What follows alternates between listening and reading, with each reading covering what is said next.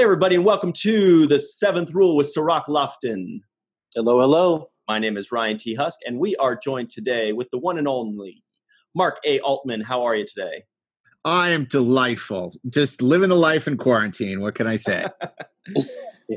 Writer, producer, uh, Free Enterprise. You wrote a couple of books called the uh, the Oral History of the First uh, Fifty Years of Star Trek. Right? That's right.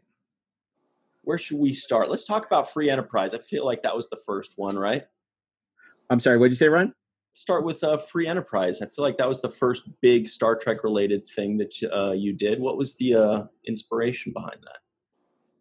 Well, you know, I mean, Free Enterprise it was my first feature. It was, uh, you know, I was dying to get out of journalism, and uh, we did Free Enterprise. Uh, it was, you know, a film about uh, two Star Trek fans who meet their idol William Shatner and find out he's more screwed up than they are, which is, you know, kind of what we we make in the movie. It was a really remarkable experience because, of course, when we went to Bill with the script and we had the financing and everything ready to go, um, you know, Bill didn't want to do the movie, and it was really funny because nobody could understand, like, why doesn't he want to do the film? It was kind of uh, very reverential, uh, like played against Sam, the way you know Woody Allen worshipped Humphrey Bogart. It was about these guys who like looked up to Bill Shatner. He was, you know, and they learned all these vital life lessons from him. And uh, I remember we get the call very vividly, uh, and uh, our assistant says, "Oh, Bill Shatner's on the phone. William Shatner's on the phone." And we thought it was one of our friends, you know, fucking with us basically. And we pick up. it's like this is Bill Shatner, and we're like, "Yeah, Bill." He goes, "I keep getting these letters and these things from my agent and stuff about you wanting to be this movie. I'm not interested. I'm not doing your film." I'm like, "Why are you calling?" so he goes on. He tells us, "You know, I'm I'm I'm a very uh, I'm a very screwed up guy. I'm I'm not a guy who who's a god or a guru, and uh, I'm I'm you know I'm, I'm embarrassed to sign autographs. So uh, I don't like the fact that you know you have me as like this this guy that these guys worship, and uh, so I just want to let you know I'm not doing your movie. I'm like, oh really? What is it? You know, how could we convince you? You know, maybe to uh, change your mind? And he says, well, nothing. And then he goes, well, maybe there's one thing. And then we kind of knew we had him. Mm-hmm. And he's like, uh, you know, maybe if I was a screwed up guy, that's something I'd be interested in playing. And we're like, well, what, you know, what kind of problems does Bill Shatner have? He goes, girls. 20 minutes, a half hour. He's like, call me Bill. And we're Bill this, Bill that. About a half hour goes by. And he goes, okay, you guys got your marching orders. I'll read the rewrite. I'm not saying I'm going to do it. I probably won't. But, uh, but uh, you know, I'll, I'll look forward to seeing it. We're like, that sounds great, Bill. He says, now you can call me Mr. Shat like when we put that in the script. Uh, and and we wrote the script, and the script uh, came out. Um, you know, he he loved it. Said he was going to do the movie, which was nice because we had already rewritten it for like uh, Malcolm McDowell. you know, we okay. Backup plans uh, in case he didn't uh, want to do the movie. He committed, and obviously it was a fantastic experience. Bill was Bill was great. Movie um, you know, came out theatrically the same week as the Phantom Menace, and uh, you know, it didn't. It wasn't a huge hit, but it became a big cult film that's mm-hmm. beloved, mm-hmm. and uh, it was a, a, really auspicious beginning to. Uh, to my career of film and TV, it's it's a very fond memory for me. Of course, we ended up going to Cannes with the film, uh, and uh, that was great. And and Bill flew on the Concorde. I think we were in steerage. It was like Titanic, and uh, so um, he ended up giving one of the outfits he wore in the movie to uh, Planet Hollywood Cannes, mm. and uh, it was really the first time we got to travel the world. Which brings me to my Aron Eisenberg story. Ooh, already, all right, all right. It too, but this is up very nicely. So when we were on our free enterprise tour, and traveling the world and boldly going, I mean Spain and Cannes and and and and and uh, all over. It was it was really fantastic. We were invited as guests, Rob, the director, and, and myself, the writer producer, to um, uh, go to a convention in Paris. And we'd been doing a lot of conventions and stuff, and I had been doing them before from my journalism career because the Los Angeles Times uh, called me the world's foremost Trek expert, and that somehow stuck, for better or for worse. And um, and so we ended up going to Paris, and other guests were Rod Roddenberry, Max Grodénchik, and Aron Eisenberg. So this is the time we all met. So we go to Paris, and we're all like Americans in Paris. It was like we're all super. we're going to a Star Trek convention in Paris. We're like, well, this will be interesting to see if Star Trek fans are the same the world over. They are, by the way. And uh, we all just immediately, you know, like it's like summer camp because you're you're you're you're together far away. None of us knew each other. It's where I met Rod for the first time. We became good friends, and I knew Max, but I didn't know Aron. And we became, we all became fast friends that weekend. And the, the operative word, the only word we knew in French, pretty much, other than adieu, was um, sacre bleu. Aron was sacre bleu. Car windows. I remember, remember sacre bleu. And we were just having time. And we ended up, I think we pissed off the people who organized the convention because they were and like very like they expected us to like hang out and do all this stuff but we just wanted to go and like see paris and so we ended up i guess befriending not the cool kids like the av department there was this one girl who dressed up like dax and a couple of other um people and they were really cool and we're like what are the cool things we could do in paris that would be fun and they want to take us to the catacombs and you know go to all the clubs and we're like so it was Aron and me and Max, who of course was the curmudgeon, right? Who was like, I want to go home. I just, you know, and uh, and um, and and Rod and uh, we would go and uh, just had the greatest time. But it was funny because we left right from the convention. So this girl who was dressed as Dax had the costume on. So everywhere we went in Paris, she was like dressed as Dax, and and everybody was like, Who? What? Who are you? Why are you dressed like that? um, it was so funny because the last night uh, you know, it was like we were just had the greatest time, and we're like, oh my god, we're gonna have to go home tomorrow. I said, oh, but you're gonna love tomorrow. We're doing this really special event the end of the convention. It's, you, you guys are gonna have the greatest time. Like, what is it?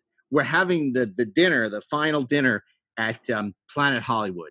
Now that could not have been worse. We're all like, we're in France, the greatest food in the world, the greatest every wine, women, and song. We're like, this is fantastic. And they're having this thing at Planet Hollywood, you know, and it's like, oh please no but uh, we ended up just walking around paris that whole night and just we went to clubs and we had the greatest time and it was this really special weekend and every time that I've seen, you know, that I see Aron after that, the first thing he would always say, Sacre Bleu! Oh! Yeah, yeah, yeah.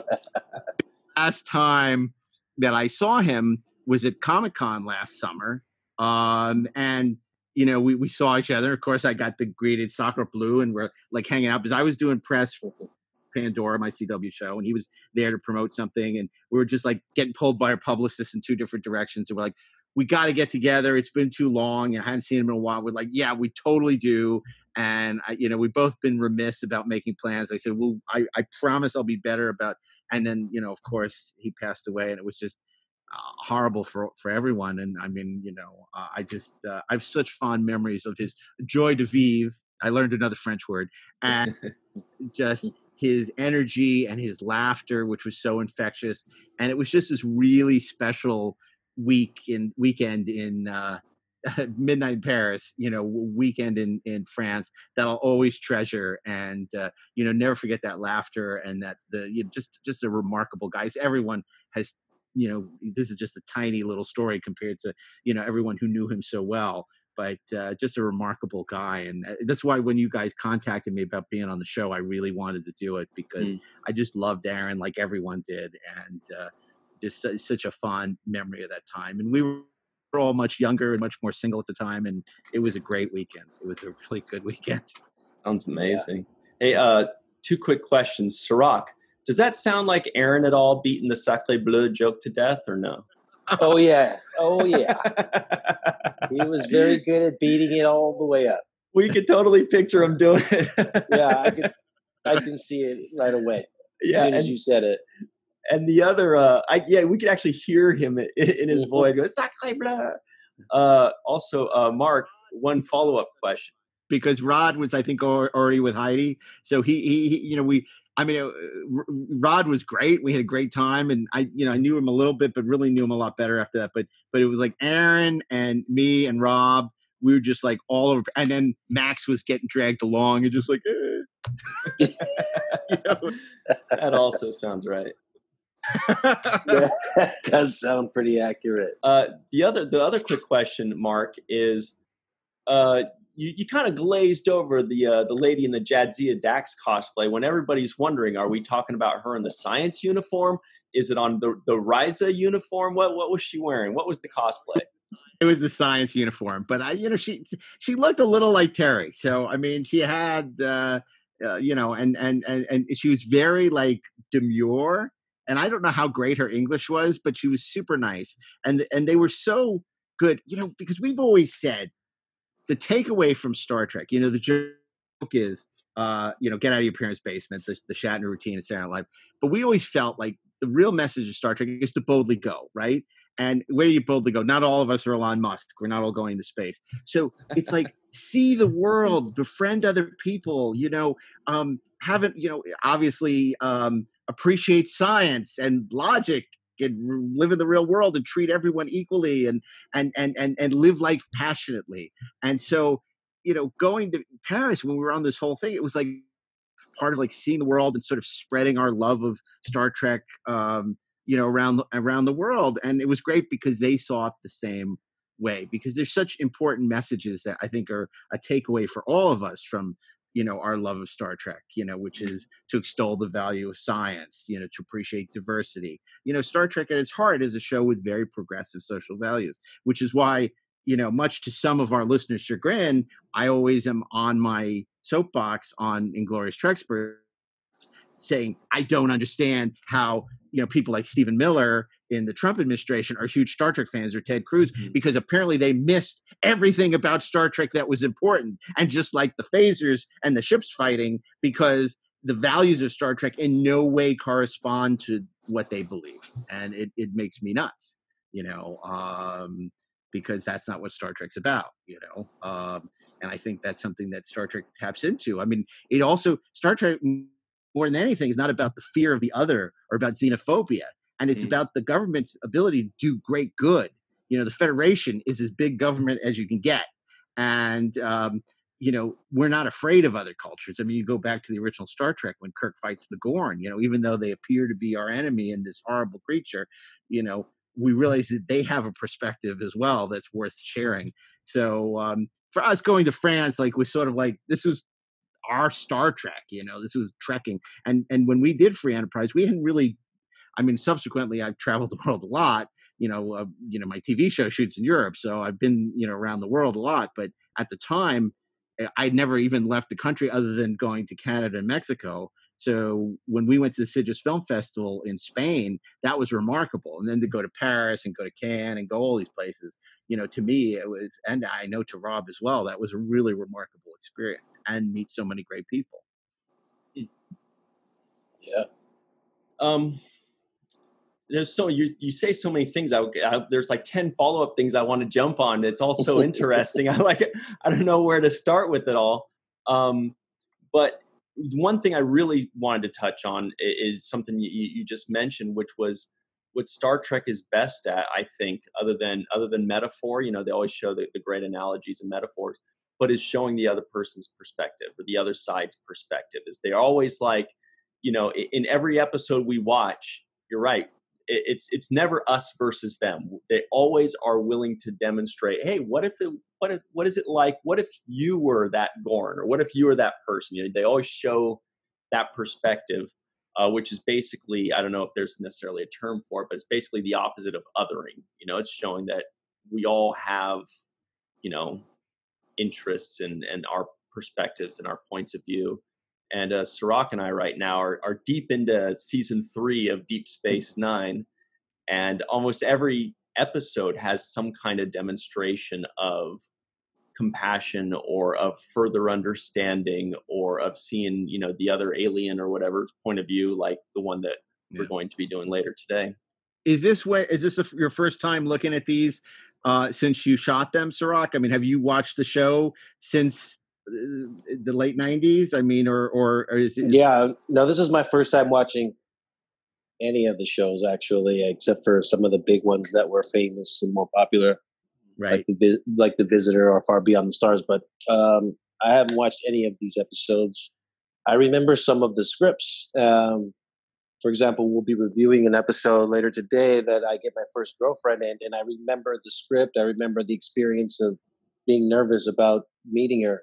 Mm-hmm. Um, and you know, and and, and what, whatever that would bring the kissing scenes and things of that nature. So uh, I was uh, I was excited, nervous, all of that emotional stuff, getting ready for this particular one. But one thing that jumped out at me that you did say, Mark, was you were talking about how we don't really we're not all Elon Musk, so we don't have the opportunity to explore the galaxy in our personal space rockets, but we do have an opportunity to explore uh, Earth and the world we live in. And instead of meeting alien races, we meet different cultures. And I think that's one of, one of the things that you were talking about having the full Trek experience with meeting, you know, the being immersed in the French culture and in France, and you know, just seeing new places and, and new people. And I think that's one of the things that I enjoy a lot about doing these conventions. It is it is exactly the Trek experience, right? Yeah, absolutely. And I, you know, it was when we our the premiere free enterprise was in the Sitges Film Festival, which is like the Cannes of genre film in, in Spain, in Barcelona, Spain. And I remember we were concerned because our movie was a comedy, and they show it uh, subtitled in Catalan and in Spanish and in you know a bunch different language. I was like, is this going to play? Like, are they going to get it? I mean, it was a big concern of ours. And, you know, fortunately, it, it, went over really, really well. And I think they had to add a second show. Um, but that was so cool. And we realized, like, Star Trek fans, even if, you know, we come from completely different cultures, we all have this thing that is Star Trek in common that unites us. And, you know, I think, you know, we talked about obviously politically there is a thread that I think unites us. But there's also Star Trek at its heart is about family. I mean, and never more so. I, you know, we talk about the original show as a family, um, but of course, you know, in your case, you you literally were a family with your your your your dad, Sisko in Deep Space Nine, and I think that's something that people just adore about Star Trek. And when a Star Trek show works, like the original or like Deep Space Nine, uh, you know, or Next Gen, it's because you know, at its heart, it's really a great family drama because even when these people fight and they don't get along, they still love each other. And that's why I never understood why people complain, oh, Deep Space Nine is too dark, because it was never because these people would like sacrifice their lives for each other, which was what was so great about the original Star Trek. As much as Spock and McCoy would hurl witty bon mots at each other, they clearly loved each other in their own way and that was what was true of, of deep space nine as well which is probably why you know when people ask me in fact my son asked me this our internet was down last week and he's a big star wars guy he's he's, he's 11 years old.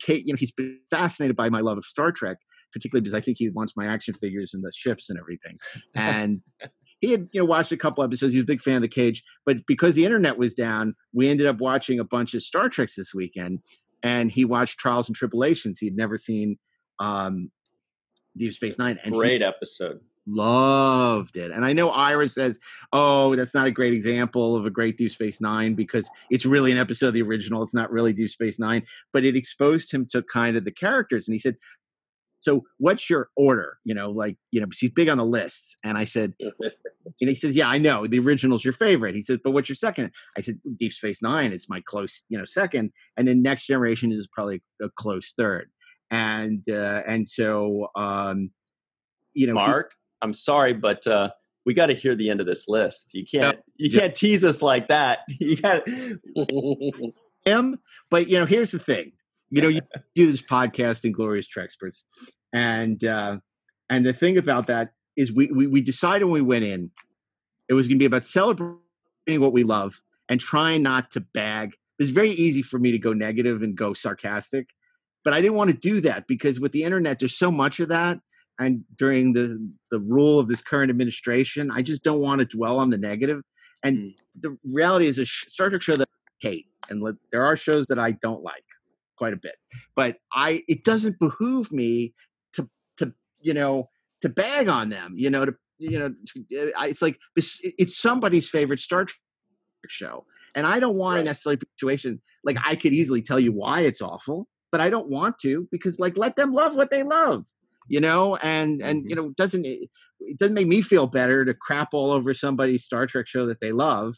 Um, you know. And so I'd rather just celebrate the things that we really love about Star Trek, and we've managed to do that now for like three freaking years. And I'd really only planned on doing it for a little while because I had some time in my schedule. To, a chance to get together with uh, friends and um, promote the books.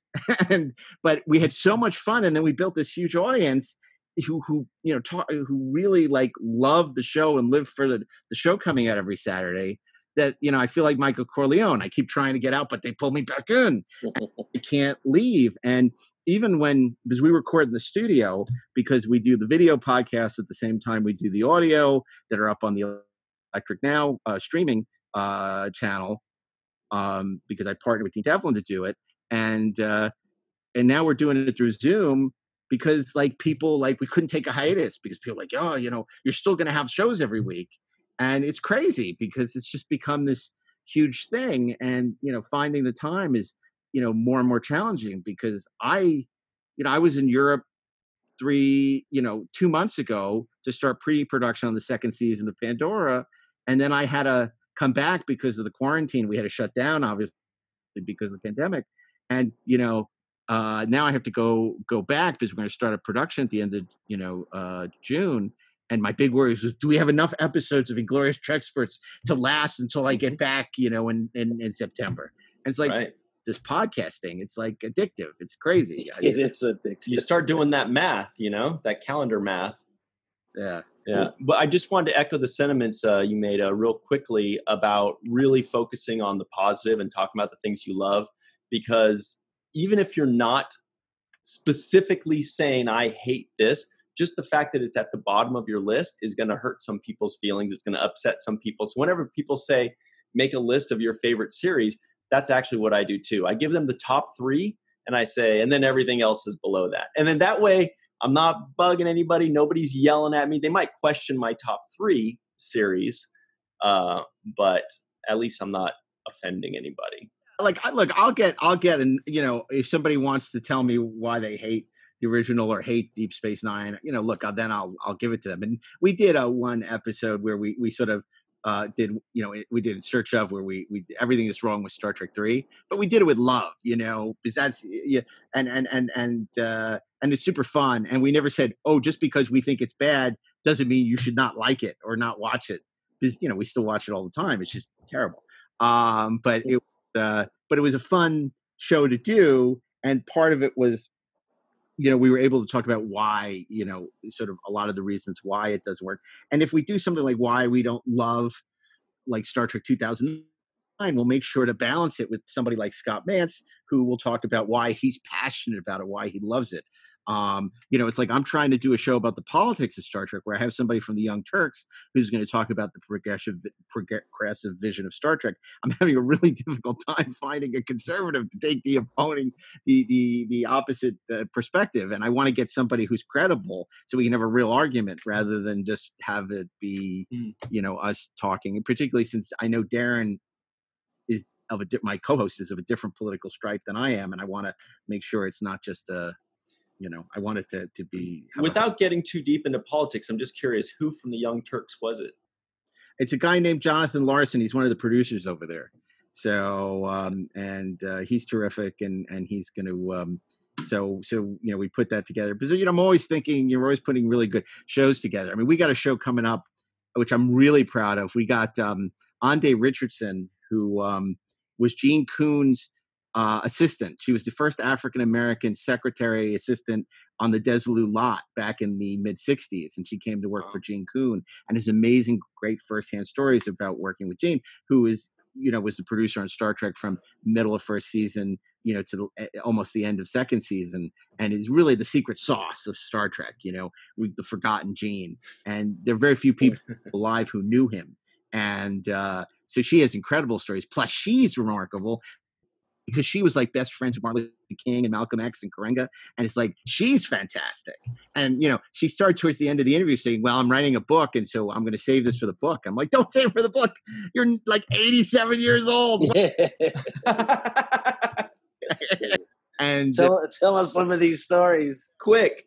So it was really good. And we try to balance the episode like where we're doing episode like Academy of the Overrated, where we talk about like the most overrated Star Trek episodes versus um uh you know the interviews. So, you know, one week we'll have Anson Mount on, and then one week we'll have, you know, Michael Dorn on, and then another week it'll be like, uh, you know, the best captains episodes or something. And, you know, that brings me back to what you were saying about like, you know, do you go past the, the, the three, the, the, the three you like and start talking about the ones you don't. And I used to be very, I used to be very snarky about Voyager, particularly when it was on. Not a fan, right? And, um, and at, at one point when I was doing research for 50 Year Mission, we talked to a girl and she woman and she talked about how captain janeway was such a huge influence on her um, to become a scientist. Like she worked at nasa or jpl and and how much this uh, janeway meant to her as a woman as a role model. And it, it kind of like i kind of realized i was being a bit of a dick by bagging on voyager all the time because i realized how important voyager was not only to her but a lot of other people and so since then, I tried to see the good in Voyager, and I've really made a point in like going back and watching a lot of episodes. And I found a lot of episodes I had never seen that I actually did enjoy, and um, we tried to uh, spotlight it on the show. Uh, we just did a 25th anniversary episode with Bryan Fuller. So you know, still never going to be one of my favorite Star Trek episodes, but I tried to like look at it through their eyes. And um, you know, in the way that Captain Kirk was a role model to me growing up, you know, he was the man Right. who the loyalty of his crew, the respect of his friends, and a green girl on every planet. You know, she had something in Janeway that meant something to her, and there were a lot of other women and men that that were inspired by Janeway. You know, to me, she was always Kate Hepburn. I could never get Kate Hepburn out of my head, but uh, but that's me. You know, uh, Cirroc and I, as soon as you said, uh, I was never the biggest fan of uh, Voyager. I think Cirroc and I probably both imagined Aron leaning in, going, "Go on, tell me more." Or, uh, I mean, it's, so it is. And I mean, I have to say, even I, I, it's embarrassing, but I mean, I've watched a couple of Enterprises I'd never seen over this lockdown, and that's a show that I never had any great affinity for. But I there actually watched quite a couple episodes now um, that I found quite entertaining. You know, that I liked, that I had a new appreciation for it. Again, I, it's not my top three, but it was. it's my top three. is it okay? Well, there you go. To each their own. And- Shocking. uh, but it, you know, it you know, I, fa- I, I- found a new appreciation for it. I discovered a new appreciation for for it, particularly you know Manny Coto's for, fourth season and Mhm. uh, some some you know some of the, some of the episodes that I hadn't hadn't seen. So, uh, but I don't know why I've been watching a lot of Star Trek over the um, quarantine. I guess I need something that I don't have to think. I don't know. It's just um, I don't know. I've just been watching a lot of Star Trek. It's kind of interesting. Um, also, because when we do these shows on the shows that I'm not as well versed in, um, I kind of like to be knowledgeable, so I go back and, and watch them. I mean, I did that. The last time I did that was when I was doing research for the book. Is when we wrote that, it came out for the 50th anniversary, the first one, um, and I, you know, co-wrote it with Ed Gross, and I said, "Let me do the Enterprise chapter." And he said, "Why do you want to do that?" I said, "Because I don't really know much about that show. Because by then, I I was no longer a journalist. I was making movies and TV, so I didn't know much about it. So I said it'll be interesting for me because I, you know, it'll be more like Columbo. I'll be like a detective, and I'll get to talk to all these people I've never talked to before, and it, it'll be interesting. And it was, and it was fascinating. I mean, it, the whole process of writing about Enterprise was really interesting to me. Although not as interesting as writing about Galactica 1980 in the Galactica book, but that's a whole nother story. Hey, so we only have a few minutes left. And by the way, uh, before I get to this uh, last question here, Cirroc, what do you think? If we're making a list, is this top three easiest interviews we've ever done, or what? Oh man, this is great. This I've is actually, so fun. I've actually had a cardboard cutout of me in my place.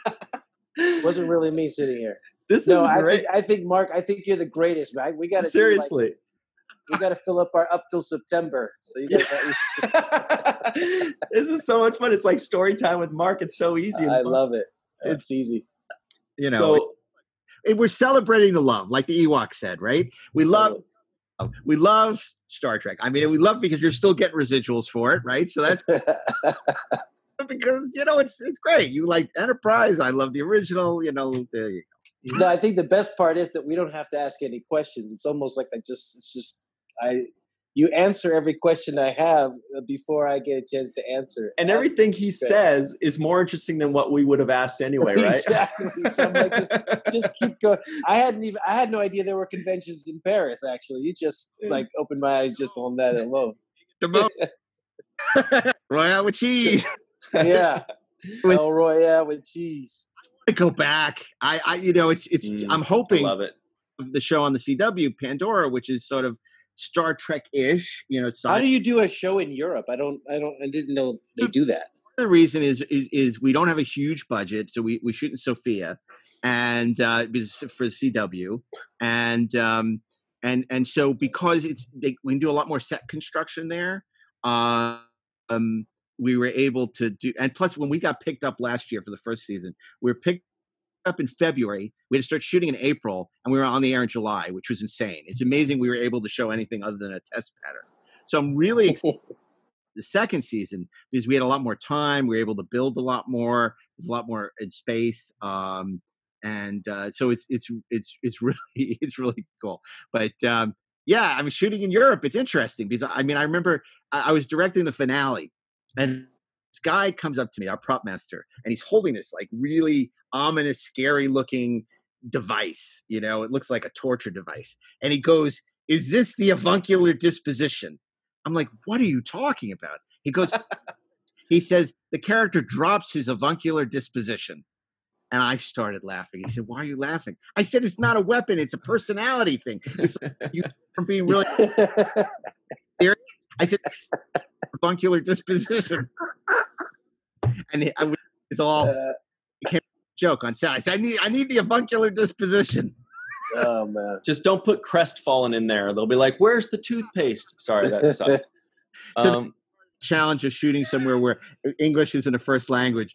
Um, but uh, but but it's great. We you know great crew and we cast a lot out of the UK. I mean, one of the fun things for me was you know we tr- we cast some g- quote unquote genre luminary. So you know we brought Erin Gray down to, to play a captain, and you know we in a, a spacesuit that was very similar to what you wore in Buck Rogers, and uh, and she was just delightful and. Um, and and loved having her. And she said she thanked she said thank you because I finally got to be a captain after all these years.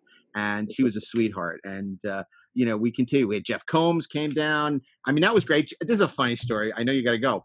Jeff Combs is on our podcast a couple of weeks before I leave to go back in the middle of shooting, and you know phenomenal as you all know all too well, and you know so versatile. And we ended up he came early, and normally we take lunch at Shake Shack because it's near our studio and where we record. And so he came with us, and we were all bullshit and having a great time. And it came up, I'm doing the show in Sofia, and so, oh, I, I, I was there for one of his films that he shot. I'd love to go back at some point. Well, the role comes up. I guess one of the actors fell out, or scheduling problems. So I'm like, oh, you know, it'd be great for this, Jeff Combs. So we Mhm. called. For the casting director calls up Jeff, do you want to do the show and you know shooting in like two weeks and Sofia? And he says yes. So as a result of our podcast, you know, like a month later, Jeff Combs is flying out to Sofia to do the show, and he was fantastic, and it was great. So um, we had a bunch of people like Manu Bennett, and you know, uh, a couple of Bond. I had Maryam d'Abo. I just done the Bond book, and uh, there was a sort of a James Bondy kind of episode. So we had Maryam d'Abo from the Living Daylights on the show, which was uh, which was really fun because you know got to talk James Bond for a while. I mean, that's the, that's the real reason I make movies and TV, just the bullshit about the stuff I love. It was like when I was doing Agent X, I sit there with Sharon Stone and we just talk about you know all the movies she did and uh, you know have great great you know just amazing stories about. Uh, so it's it's it's uh, it's all good. I mean, that's what the podcast is. You know, it's just bullshit. totally. Or you just BS about stuff that you're interested in. Oh, we know about bullshitting, right, Cirroc? hey, uh, so we do have to run, but before we go, I want to make sure to mention this incredible uh, book or two books that you wrote. Uh, what's cool about it is that the title of the book is also the elevator pitch, right? I mean, the title is The 50 Year Mission The Complete, Uncensored, Unauthorized Oral History of the Star Trek Volume 1, The First 25 Years. Yeah, and then the second one, shockingly, is the next one. It yeah. goes through the first one. Then the next one is Next Generation through uh, Enterprise, and That's awesome. It doesn't include the new shows. So we'll definitely include uh, where to get that in in a link in the uh, description box below for everybody to check that out. Video, oh. you know. So say that again. Or, Sorry. Hardcover. Yeah. And the oh the paperback, I can't even keep track. I, I just you know same thing. I was like, oh, I get my uh, my my back end uh, checks on that. I'm like, okay, great. Oh, it came out of paperback. Oh yeah, it sure did. And uh, nice. uh, it's really great. I'm really pr- in, in, all seriousness, I'm very proud of those books. And of course, nobody does it better. Our James Bond book came out in February. Uh, that's also a terrific um, uh, terrific as well. And then Inglorious Treksperts every Saturday, wherever you listen to podcasts, or you can watch the video versions by downloading the Electric Now app on at your favorite app store. It's free. Awesome. Yeah. Great. Well, Mr. Mark A. Altman, thank you so yep. much for joining us. Uh, it's been a great time. I feel like we. Yeah. Uh, next time we need more time. There's so much good stuff. We'll you do got... a volume two for the next 25 years. yes. time is the fire which we burn. Don't get me started on that movie. Yeah, I love it. a pleasure and and really so great to be on Aron's podcast and get to talk about Aron because like I say, just one of the many who has a great deal of love for him and, and was just so sad when when when this happened. So uh, uh, Sacre I'm, I'm really bleu. I was just gonna say. So what you're trying to say is sacre bleu. exactly, guys. All right. Well, thanks thank very much. And uh, for Mr. Aron Eisenberg and for everybody at home, thank you very much. Always remember the seventh.